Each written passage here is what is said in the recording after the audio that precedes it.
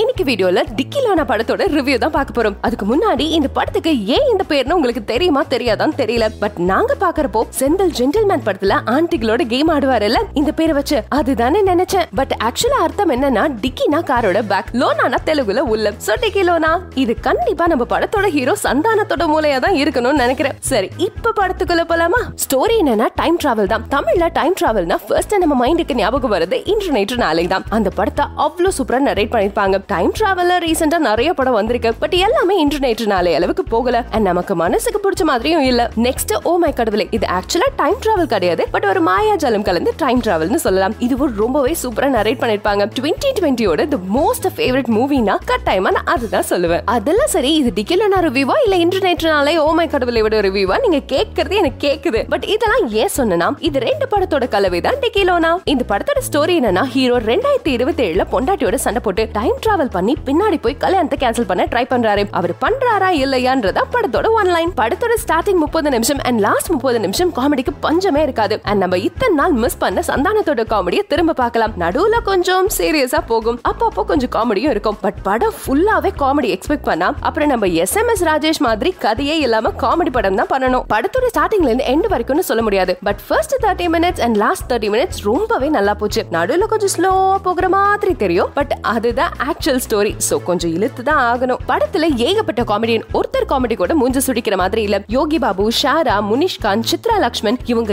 எல்லாத்த விட main comedian யார் தெரியுமா? நம்ம ஹர்பஜன் சிங் தான். அவர் சீரியஸ் ரோல் தான் ப்ளே பண்ணிருப்பாரு. பட் அதை பாக்குறப்போ நமக்கு காமெடியா இருந்துச்சு. அப்புறம் ஹீரோயின்ஸும் நல்லா தான் இருந்தாங்க. ஒருத்தர் பேரு ஷெரின் இன்னொருத்தவங்க பேரு அனஹா. கனஹா கேள்விப்பட்டிருப்போம். அது என்ன அனஹா? சரி ஏதோ ஒண்ணு. ரெண்டு பேரும் நல்லா பண்ணிருக்காங்க. படத்தோட மியூசிக் டைரக்டர் யுவன். சாங் எல்லாம் ஓகேவா தான் இருந்துச்சு. பட் பிஜிஎம் பொறுத்த வரைக்கும் ஒரு காமெடி ஜான்ராக்கு ஏத்த மாதிரி ரொம்ப ரொம்பவே நல்லா பிரசன்ட் பண்ணிருக்காரு மொத்தத்துல படம் எப்படி இருந்துச்சுன்னா ஏற்கனவே சொன்ன மாதிரி ஓமை கடவுளேவும் இன்று நேற்று நாளையும் அப்புறம் கொஞ்சம் காமெடியும் மிக்சியில போட்டு அரைச்சு குடிச்ச மாதிரி இருந்துச்சு. சோ தாராளமா ஒன் டைம் ஃபேமிலியோட சிரிச்சுக்கிட்டு சந்தோஷமா பார்க்க வேண்டிய படம் தான். அண்ட் நடுவுல வர சீரியஸ் சீன்லாம் மட்டும் கொஞ்சம் லாக் இல்லாம இருந்ததுன்னா இன்னும் படம் இன்ட்ரெஸ்டிங்கா இருந்திருக்கும். அண்ட் சந்தானம் இதே மாதிரி ஜான்ர சூஸ் பண்ணா ஒரு ஹீரோவா இன்னும் நல்ல ஃபியூச்சர் அவருக்கு இருக்குன்னு நினைக்கிறேன். ஓகே ஃப்ரெண்ட்ஸ் இந்த படம் கண்டிப்பா உங்களுக்கு பிடிக்கும். சோ ஜாலியா என்ஜாய் பண்ணி பார்த்து சரிங்க. இன்னும் அடுத்த படத்தோட ரிவ்யூலாம் கியூல வெயிட்டிங் சோ மறக்காம அதை பார்க்கணும்னா ராகேஷ் செனி சேனலுக்கு சப்ஸ்கிரைப் பண்ணிக்கோங்க see you in next video until then tada bye bye from Rakesh Cheney